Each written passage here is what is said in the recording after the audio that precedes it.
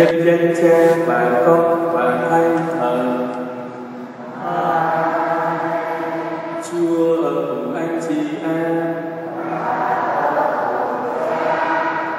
Kính thưa cộng đoàn và quý vị chúng con rất thân mến Hôm nay chúng ta học mừng nhân ngày Tết Trung Thu.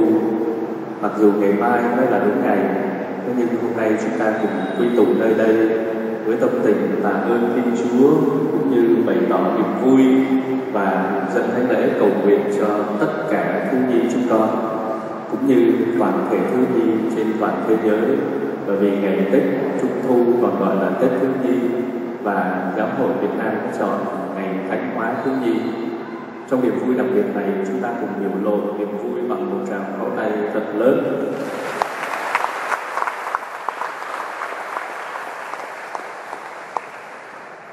Chúa Giêsu khi xuống thế làm người, Ngài không chọn trở nên một anh hùng, một chiến binh, nhưng Ngài chọn để trở nên một trẻ thơ, trở nên nhỏ bé như tất cả những nhi chúng con.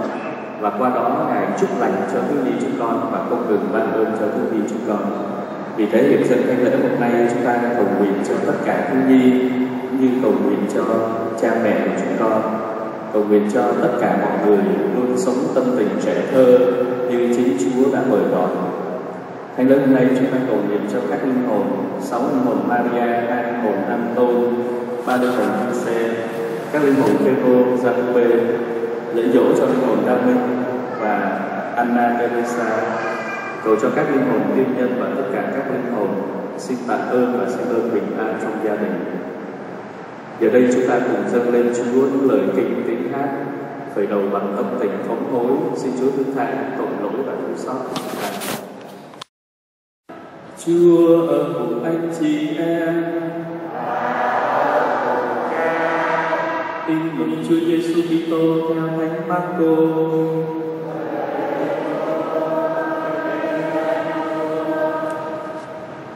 Khi ấy, người ta dẫn trẻ em đến với Đức Giêsu để người chạm tay vào chúng, nhưng các môn đệ sẵn giọng với chúng. Thấy vậy, người bực mình nói với các ông, cứ để trẻ em đến với thầy, đừng ngăn cấm chúng, vì nước thiên chúa thuộc về những ai giống như chúng. Thầy bảo thật anh em, ai không đón nhận nước thiên chúa như một trẻ em thì sẽ chẳng được vào. Rồi người ôm lấy các trẻ em và đặt tay ban phúc lành cho chúng đó là lời Chúa.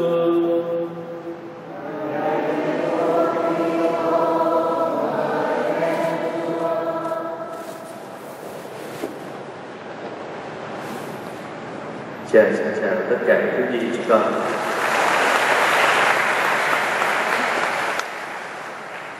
Tết Trung Thu tới nơi rồi, chúng con có vui không?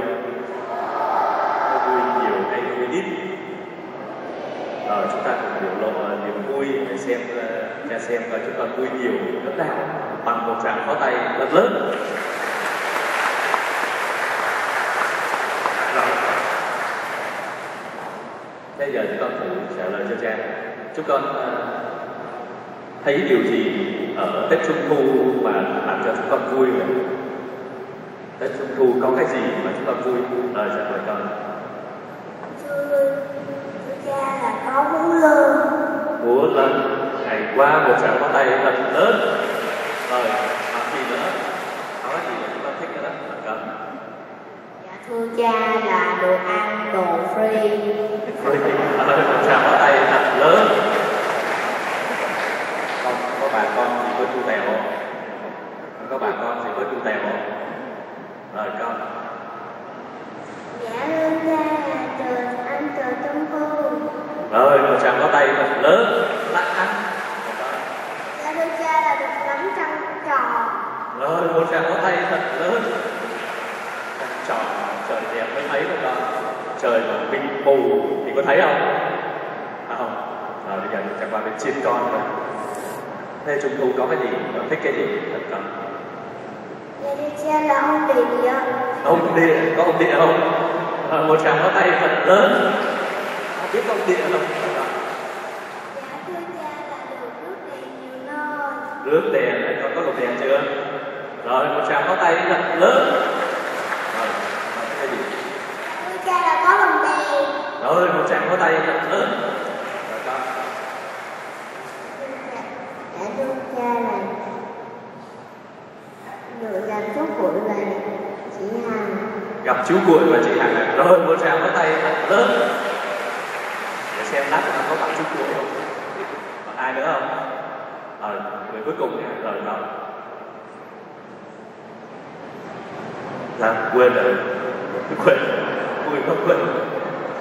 Giơ tay cho vui cái mà. Rồi còn. Thưa cha là là được uống của cha. rồi trời ơi sao có tay? Lát nữa sẽ cho con uống một thùng coca thôi rồi tay xuống năm nào cũng vậy, cứ mỗi năm một lần vào ngày 15 tháng 8 âm lịch, thì người ta lại mừng một ngày đặc biệt gọi là Tết Trung Thu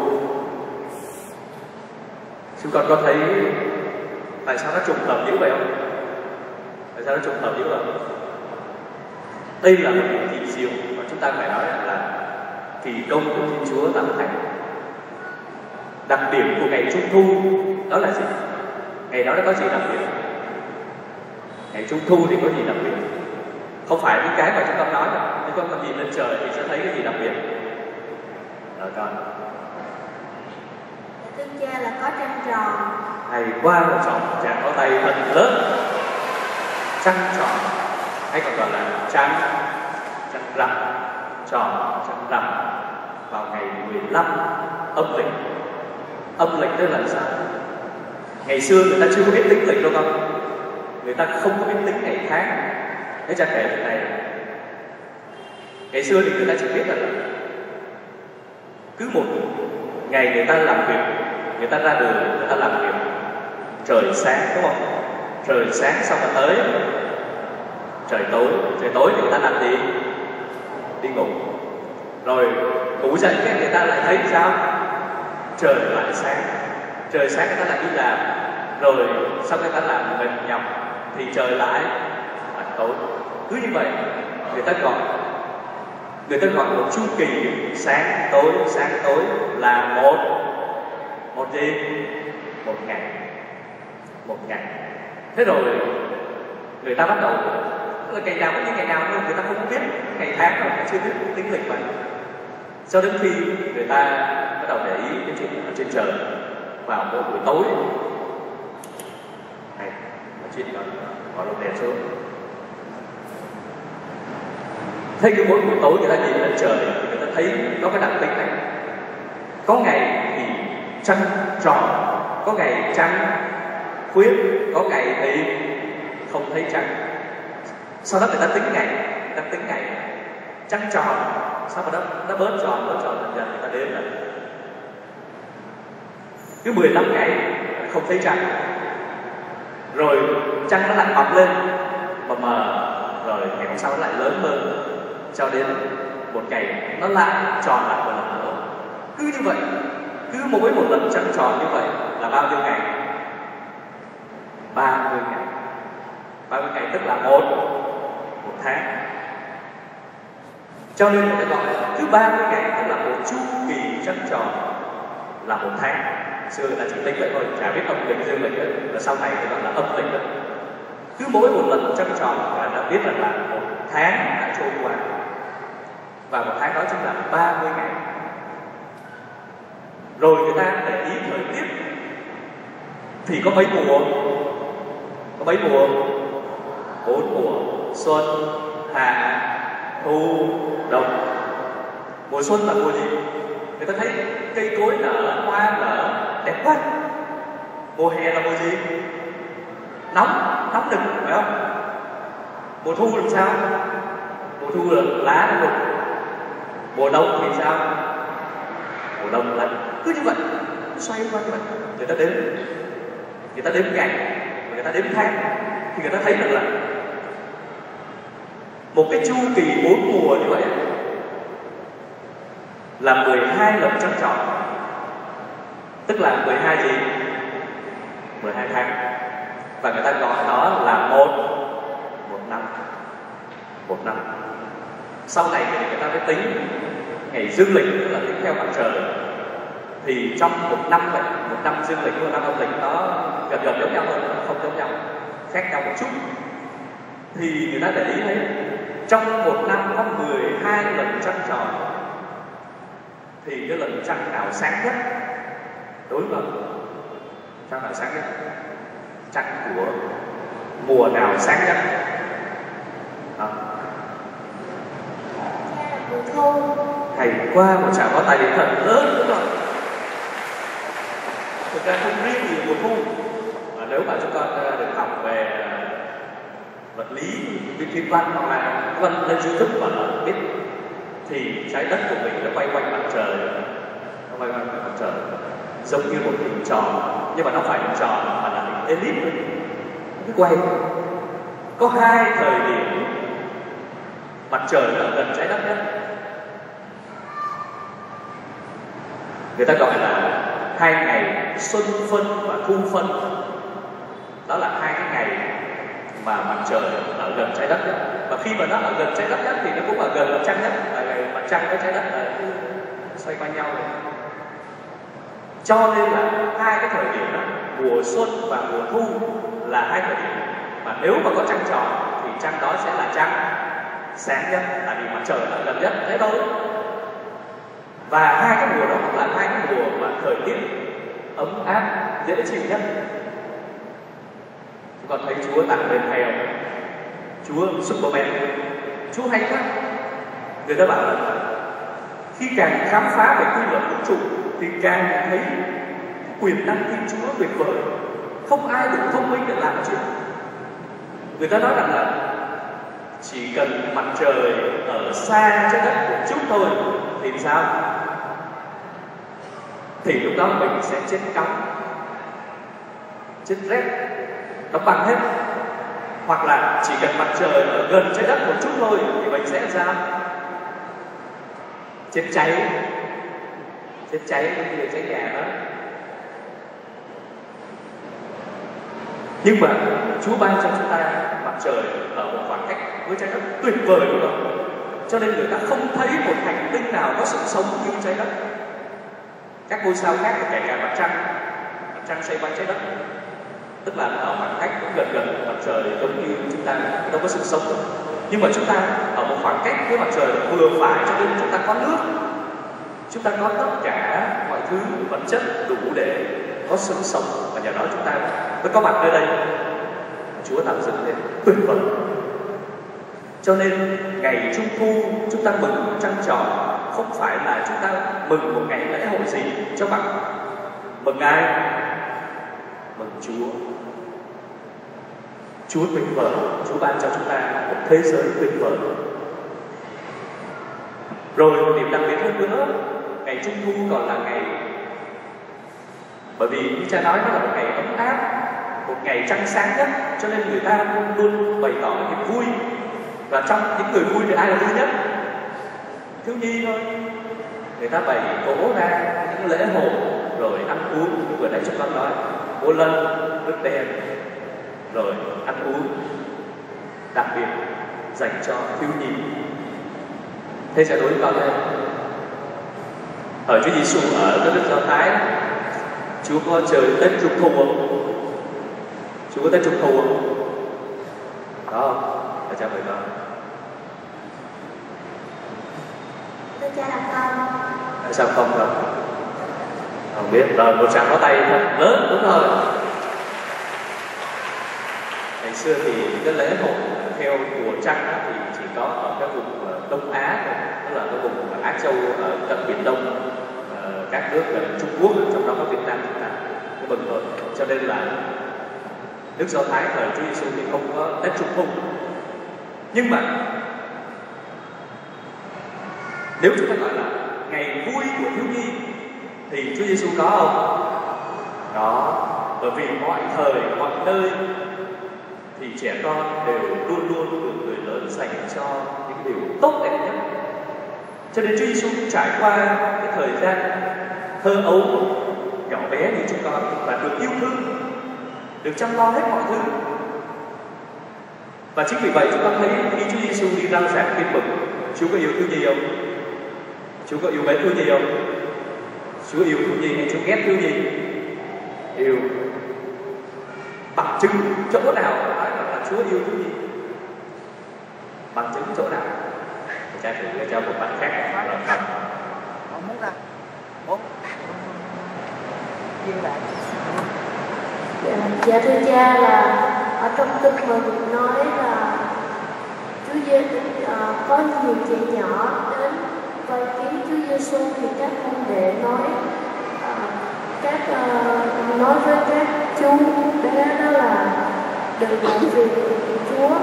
Thì à, Chúa Giêsu cũng nói tiếp là uh, hãy để trẻ con đến với thầy rồi cảm ơn con. Một tràng pháo tay lớn rồi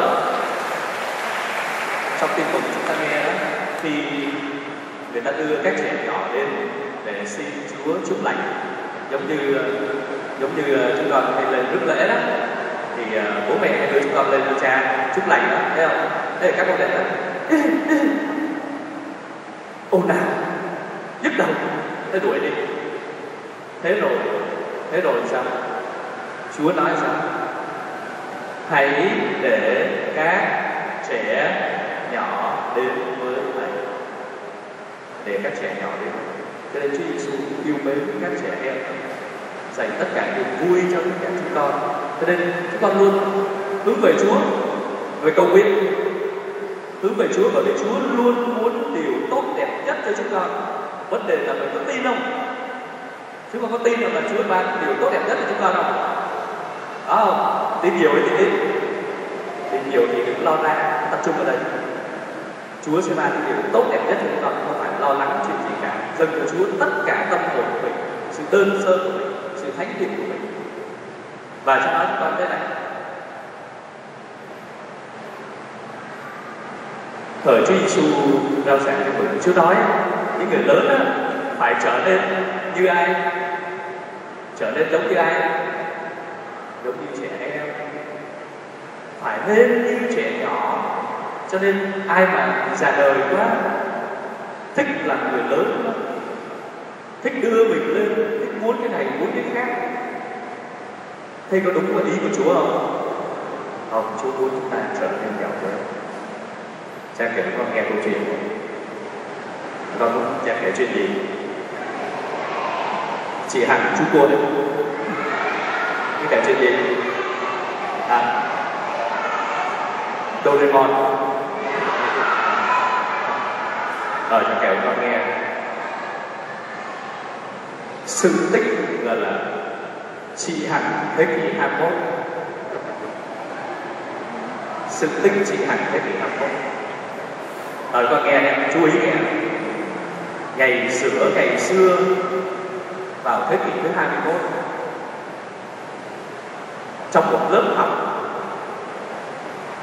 thế thầy giáo với, nói với các trẻ em, kỳ này chúng ta sẽ đem niềm vui trung thu đến cho các em mồ côi và chúng ta sẽ diễn một vở kịch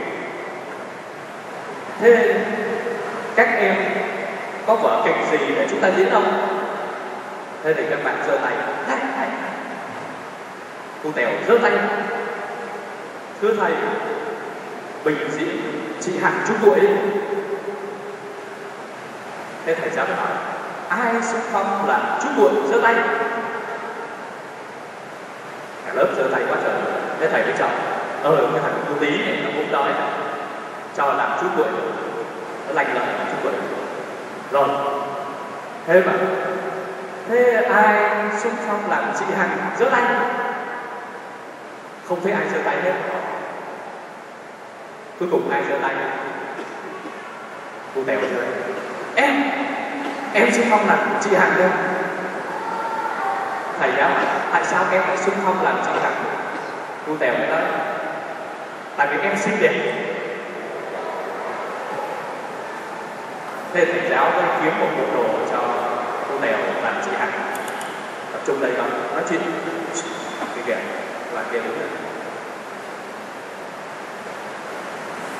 không nói chuyện nha nghe giảng thế thầy mới nói, được rồi, cô tèo sẽ làm chị hạnh. Nhưng mà bây giờ phải kiếm một cái bộ quần áo làm sao cho vừa với cô tèo bởi vì cô tèo làm sao? Cuối cùng là kiếm được một bộ đồ rất là rộng để cho cô tèo mặc. Thế thì trước khi diễn văn nghệ thì ờ, thầy giáo nói bây giờ các em sẽ uh, ăn uống. Chúng ta sẽ phá cỗ. Ăn nào là bánh trung thu này, nào bánh bao này nào đùi gà nào cá viên chiên này đủ các đồ ăn hết. Cô tèo đang bán hàng trang hàng chị hạnh. Thấy đồ ăn trời đất ơi sao mà đồ ăn Ê, bây giờ thì làm sao đây? Phải ăn thôi. Đó là mọi người khi đi ăn uống cô tèo, chị hằng thế kỷ 21 là lướt đi từ gian hàng ăn sực sực sực sực úc, chị hằng cái là tất cả bây giờ không còn giống chị hằng nữa mà giống gì đúng đúng chưa văn giới rồi. Không văn bắt giới nhưng mà cô tèo cái nghĩ bây giờ mình phải ra diễn văn nghệ đó. Mình mà ra diễn đó, thì mấy đứa này nó ăn hết đồ của mình. Bây giờ mình phải làm sao đây? À nghĩ ra cách rồi. Mình sẽ bỏ đồ ăn vô cái áo đông này. Sẽ cất nó đi lát nữa sau khi mình diễn xong, mình sẽ lấy ra. Nó là cái tèo bắt đầu là bánh trung thu đúng không? Nhét vô não bánh bao đúng không? Nhét một cái hai cái ba cái à. à rồi cá bên chia đúng không? Nhét rồi đùi gà đúng không? Nhét rồi, nhét nhét trời đất ơi chị hằng bây giờ thành khủng long luôn rồi. Thế là cái, cái mục văn nghệ xin mời chị hằng bước ra. Thấy một con khủng long đi ra. Thế cụ không? mình là chị hằng đây xin chào tất cả các bạn. Đây chị hằng này chị hằng này bóc quá và sau ở dưới các trẻ em sao chị hằng hôm nay bụng bự thế. Mà hình như áo của chị ấy, phình phình phình phình phình ra, không hiểu. Thế các bạn, chị hằng ơi, chị hằng có thể múa một điệu múa không? Cô tèo, giơ tay múa một điệu múa. Tự nhiên nói xuống dưới cái bánh bao rất là mạnh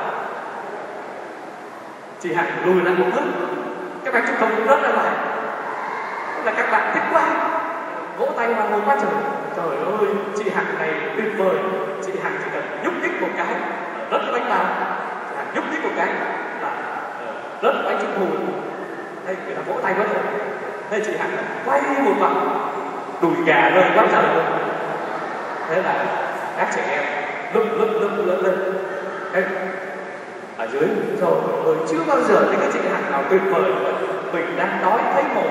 Chị hằng tới đem đồ ăn cho mình cô tèo vừa bố của nó. Ê, cái đó của tôi mà. Cái đó của tôi đừng đừng đừng thế là thầy giáo nói chị hằng ơi chị hằng có thể lốt một vòng được không? Cô tèo quyết định giao lốt một vòng thế đồ ăn nó rơi ra hết. Bác hồi ra ngoài cô tèo khóc hu hu hu hu thế là thầy giáo với mọi người sao chị hằng khóc vậy? Em bảo đồ ăn của chị hằng đi hết trơn rồi. Không còn gì để ăn nữa. Thế là thầy giáo và các bạn lớp đó, trời đất ơi không ngờ cô tèo lại tuyệt vời như vậy. Thay vì mình đem đồ ăn cho các bạn thì bây giờ cô tèo là chị hằng làm rơi đồ ăn các bạn vui quá trời. Không ngờ có sáng kiến của cô tèo vô cùng tuyệt vời. Thế là cho cô tèo mấy điểm 10 điểm cô tèo mới nói cái này là lỗi định của mình từng tâm là cách đồ ăn cuối cùng đem đồ ăn sang mọi người. Nhưng mà cô tèo rút ra một cái kinh nghiệm, niềm vui trung thu niềm vui trung thu không phải là vui vì mình được rước đèn vui vì mình được chơi trung thu vui vì được ăn bánh bao, vui vì được ăn bánh trung thu không phải, mà niềm vui đích thực của trung thu đó là đem niềm vui đến cho người khác ngày hôm nay cha của chúng con cũng sẽ vui trung thu một cách giống như cô tèo nghĩa là mình đem niềm vui đến cho người khác. Chứ không phải là mình cố gắng ăn rồi dành cái này cái kia, không phải, mà hãy đem niềm vui đến cho người khác. Và như vậy mình tích cực sống một tâm tình của trẻ thơ giống như Chúa mời đó. tất cả những tâm tình đó sẽ giúp cho mỗi người chúng ta lên thánh niềm vui này xem con là chúng con sẽ dâng lên Chúa sự phó thác dâng lên Chúa tất cả những lo lắng của mình xin Chúa ban muôn ơn lành cho tất cả chúng ta. Giờ đây ờ, chúng con khinh lặng ngồi thẳng lên. Khoanh tay lại, ngồi thẳng lên. Trong một phút còn nhắm mắt lại dâng lên Chúa tất cả lo lắng của chúng con cầu nguyện xin Chúa ban muôn ơn lành cho chúng con trong một tối hôm nay.